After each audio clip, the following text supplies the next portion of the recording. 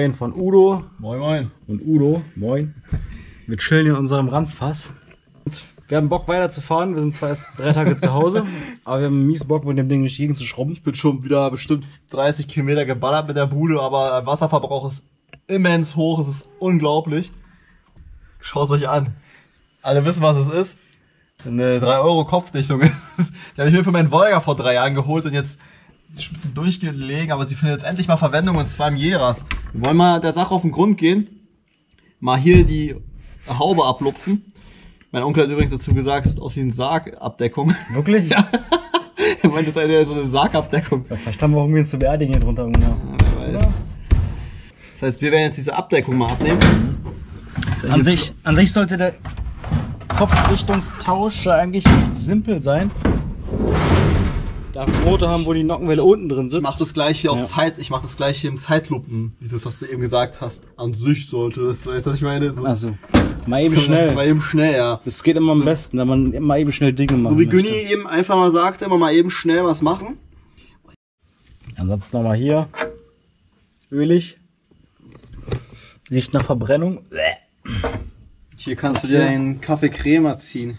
Mmh. Mm, boah, Da ist echt gut Wasser drin, ey. Ja, was muss runter? Der Auspuff muss ab. Auspuff muss ab. Ansaug- und Abgaskrümmel würde ich dran lassen. Vergaser muss hier ausgehangen werden. Ja, ich will den Filter vielleicht auch abnehmen, oder? Platzmäßig. Kann man machen. Dann Wasserpumpe, müssen wir uns genau anschauen.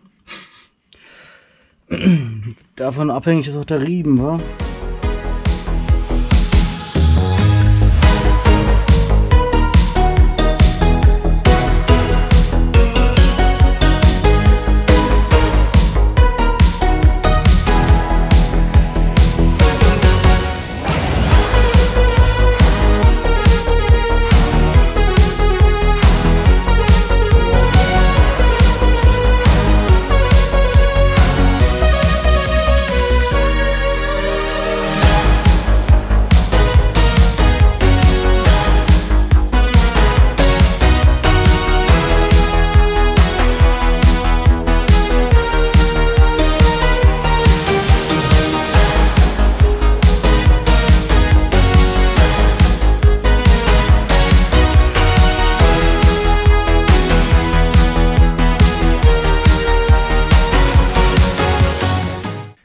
So, das ging jetzt eigentlich recht fix. Ein paar Schrauben waren lose, ein paar waren richtig fest. Also sehr eigenartig. Hier war auf jeden Fall schon safe einer dran. Ja. Auch die Stößelstangen sehen alle anders aus. Das ist auch komisch. Das kann auch nicht so ganz original Das sein. ist richtig zusammengewürfelt. Jetzt werden wir einmal den Kopf mal anlösen. Dann, Alter, ist fest. Festgewachsen. Ah.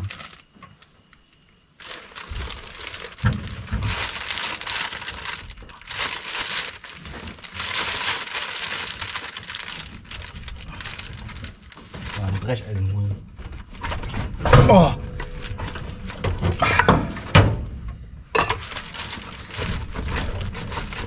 Ja, sowas kann man auf dem Parkplatz sogar machen. Das hätten wir unterwegs auch noch geschafft. Ist vorne irgendwie höher. Ah, Irgendwas noch dran? Nee. Boah, stinkt das, Alter. Oh, Alter, das Ding hat Gewicht.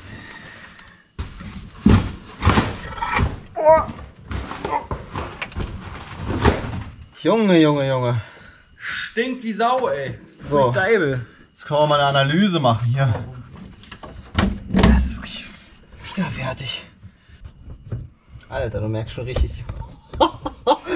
Fass da mal rein, ey. Mal erstmal zeigen, wie allen, wie es schön aussieht. Ja, es ist abgenutzt vom Feinsten. Richtig Kohle. Also, du kannst da fast mit deinem Finger rein.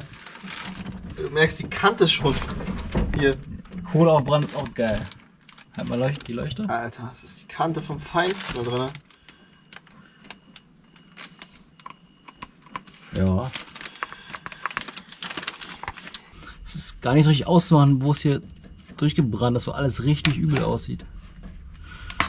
Zustand ist ja nur 1A, wie man sieht. Ja, das guckst du dir an.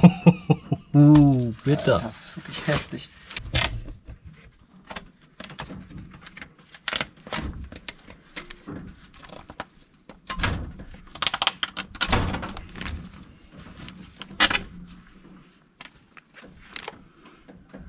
Ja, die Dichtfläche ist übertrieben verrostet. Ja, wir müssen es eh mal richtig sauber machen. Warte mal, ist da noch eine Dichtung drauf? Was? Ist da noch eine Das Dichtung meine ich drauf? ja. Ist das da irgendwie Saufball 2 Dichtung Äh, drauf? es sind zwei Dichtungen drauf oder ist die zerfallen? Das weiß ich nicht.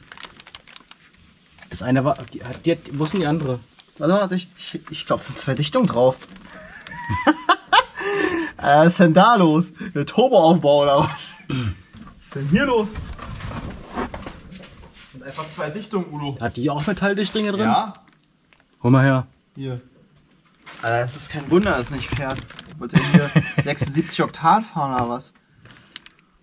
Boah, das ist ja Fusch. Dann lass die mal auch abnehmen. Ich meine, kein Wunder, dass es nicht läuft. Es lief doch. Direkt 10 PS mehr, wenn wir das umbauen.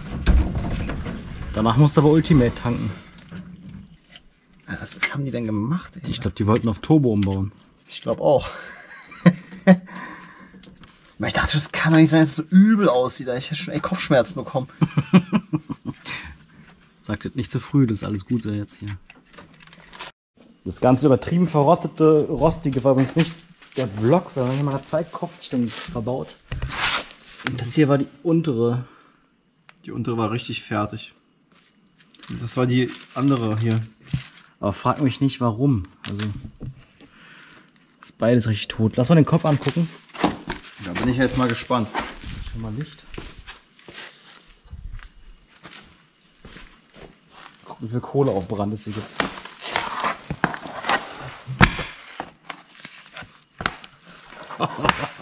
Aber hier ist ja schon mal was durchgeknallt.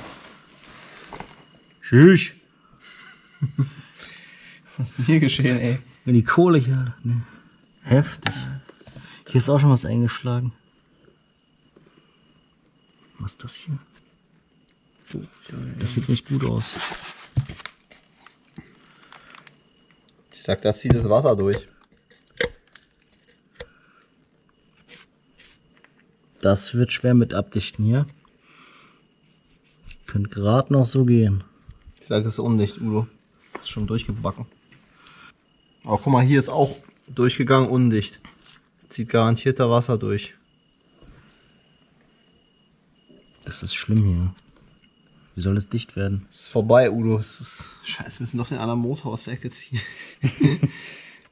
Aber wie hat das denn vorher funktioniert? Wurden deswegen zwei Kopfdichtungen Ja, rein, wahrscheinlich. damit sie das hier reinpresst oder wie? Scheint so, ja.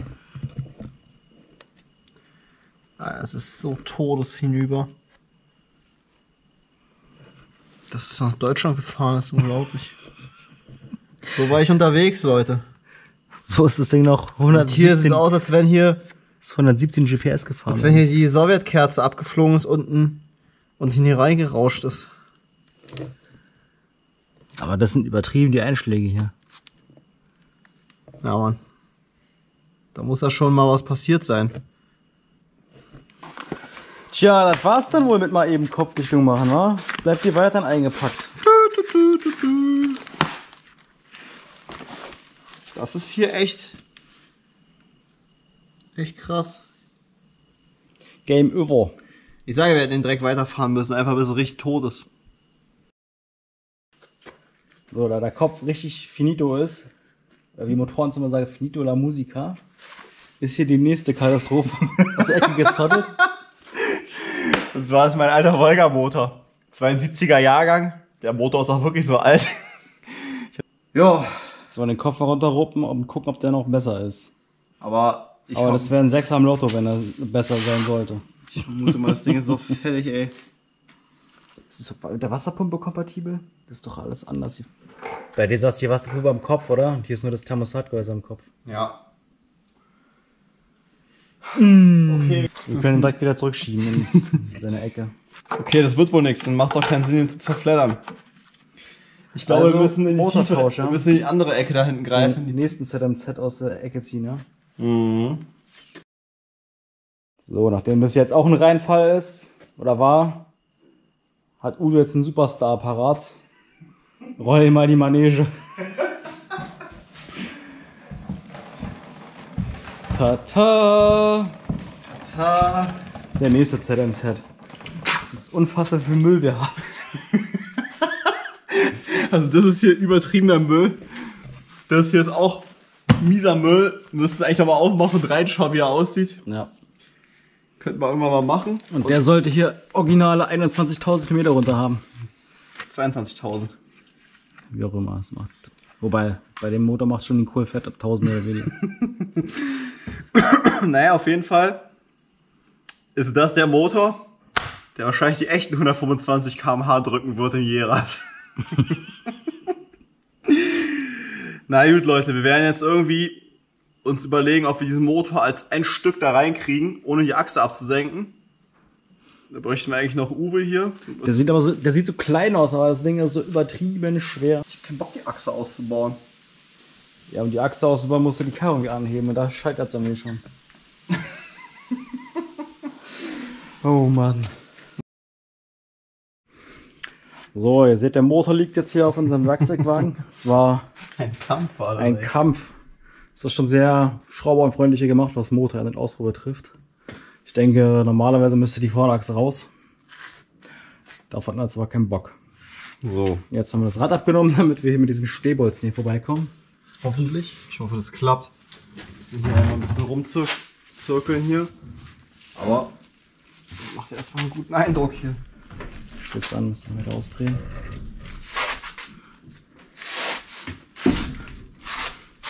Das steht so eine Anleitung. Stimmt, ja. Pass auf, dass du den Zündverteiler nicht wegrasierst. Passt der Lappen da durch, oder? Könnte da durchpassen, ja. Scheiß Lappen, Udo, Alter. Du mit die, Den habe ich nicht angebaut. bei dem nicht dieser Dreck. Weil das drückt doch hier gleich gegen, das passt doch nicht. Guck doch gerade hier, mach mal weiter. Es drückt doch hier jetzt gegen. Dieser Scheiß Lappen, ich schneid ihn jetzt ab. Es bringt doch nichts, es Ich liegt doch hier dran. Ich schneid den Lappen ab, dann geht alles. Das ist Abfall. Sag normal, Udo. Die Kontakte sehen auch nicht gut aus, habe ich gerade gesagt, von unserer U-Zündung. Wo ist er? Wir werden weiterhin diese Zündung betreiben. Sie hat erstaunlich gut funktioniert. Genau, der Motor ist raus und wir bauen jetzt ein paar Teile auf den anderen Motor um. Und wir haben jetzt uns entschieden, ver vers zu versuchen, den hier mit dem Motorkran durch die Fahrertüre hinzuheben. Das sollte von der Höhe gerade so passen. Aber es ist wahrscheinlich trotzdem richtig schwierig. Aber wir werden sehen. Ist platt. Traurig. Geschafft, ja. Der Motor ist drin. Haben wir jetzt den Motorkran hier durch die Türöffnung durchgehoben.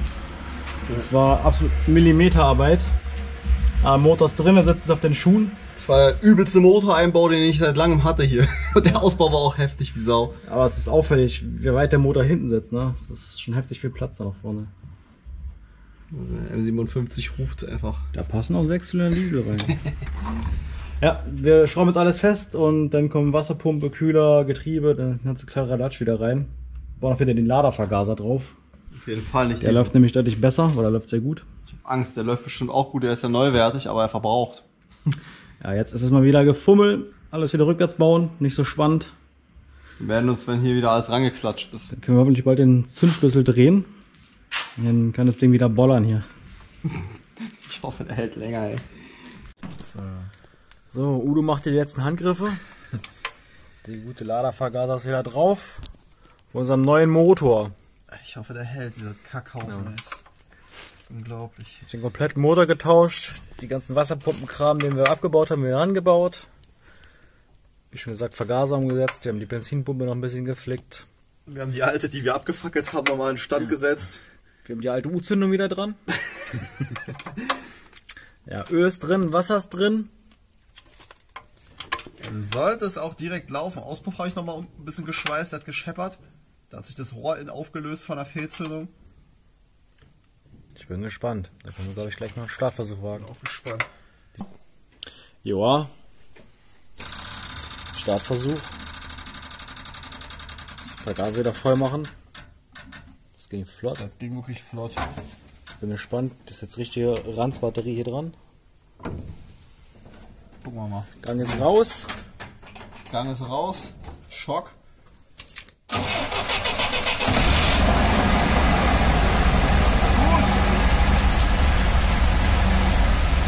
Ist viel leiser, der Motor. Merkst du das? Ich ausgewaschen. Der ist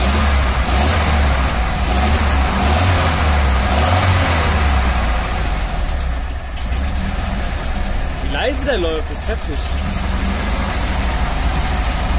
Unglaublich, oder?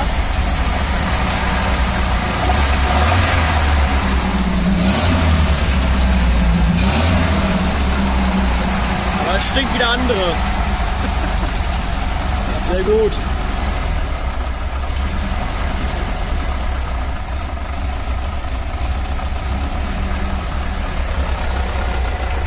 Aber noch festmachen nachher.